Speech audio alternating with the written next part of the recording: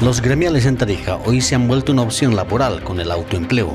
Esto a raíz de la falta de oportunidades laborales. La capital está eminentemente dependiente de los recursos económicos de instituciones públicas y ante la reducción de regalías ha mermado la demanda de recursos humanos, por lo que más de uno ha optado en abrir su propio negocio. Este tema lo hemos conversado con la ejecutiva de la Federación de Gremiales, Adriana Romero, quien nos explica cuál es la importancia de créditos mediante la banca privada y el Fondo de Promoción Económica Productiva de Tarija la base legal que necesita el Banco Unión. En este caso, supongo ya que el Banco Unión, en base a esto, va a hacer su propia reglamentación interna para que ya se pueda viabilizar el tema del fideicomiso. Los vacíos legales han retrasado el proceso. Queríamos traer productos para invierno, pero a ver si es que tal vez salga ya en, a fines de este mes o las primeras semanas, por lo menos de junio, ¿no? Pero la base jurídica no, no nos ayudaba, había vacíos legales que había que complementar. Esta organización estaría recibiendo créditos desde los 5 mil bolivianos. Tenemos más o menos algo de 10 millones para disponer dentro del sector gremial a nivel departamental. El interés es de 4 4.5%, eh, tenemos tres meses de gracia, el cuarto mes recién se empieza a pagar la primera cuota.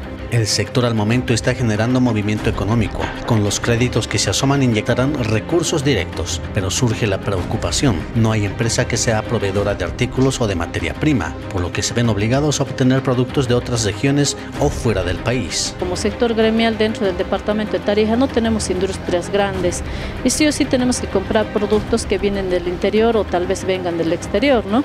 Pero no los traen aquí al mercado tarijeño. Incentivar que ellos puedan sacar sus créditos y empezar a hacer este, unidades productivas que incrementen más sus posibilidades de traer producto, materia prima.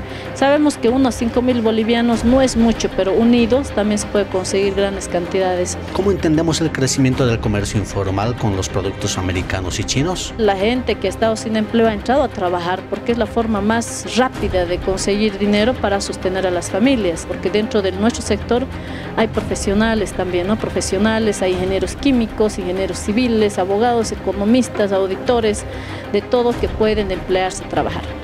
¿Qué hacer con el sector textil? Hoy la ropa del continente asiático está afectando más que la ropa americana. No hay industrias grandes que puedan sustentar eh, el tema textilero, entonces quien está haciendo caer todo es la ropa japonesa, china, coreana, que llega a muy bajo costo. Y si ustedes verifican las estadísticas, entonces Sudamérica y parte de Europa ha invadido estos productos. Este tipo de ropa de una manera tiene demanda local por estas razones. Si la gente no comprara, no se trajera. Y si la gente compra, es porque seguramente ve precios reducidos a comparación de lo que se entrega a nivel nacional. Porque si la gente encontrara productos nacionales mucho más económicos, entonces yo me puedo pensar, digo, bueno, yo prefiero si la ropa medio uso me va a costar a 20 y a mí me consigo a 25 uno nuevo, obviamente voy a irme por lo nuevo, ¿no? Para que pueda utilizar. Hoy el sector trabaja con la Brigada Parlamentaria un proyecto de ley nacional para garantizar al sector gremial un puesto laboral en cada rubro de venta con los siguientes fines. Inamovilidad de espacios laborales. Nosotros como gremiales siempre tenemos este, una dependencia de coordinación y, y consenso con los municipios. Según la dirigente, falta que se respeten derechos de los gremiales en los municipios del país. Hay muchos atropellos en diferentes municipios de aquí de Tarija en cuanto a lo que son licencias de funcionamiento, canchajes, hay otros que lo manejan los puestos de venta políticamente, hay algunos municipios que los sacan y los ponen a los compañeros a la calle cuando quieren o los ponen dentro de los mercados. No hay mejoramiento en otros municipios en cuanto a los mercados. Otra de las metas está en obtener la jubilación digna,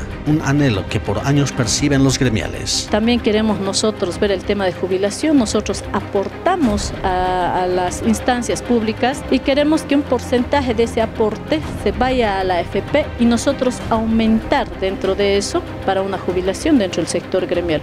Esta es la postura del sector gremial que, en la coyuntura actual, se ha mostrado con la demanda de obtener recursos económicos a la vez de más oportunidades productivas.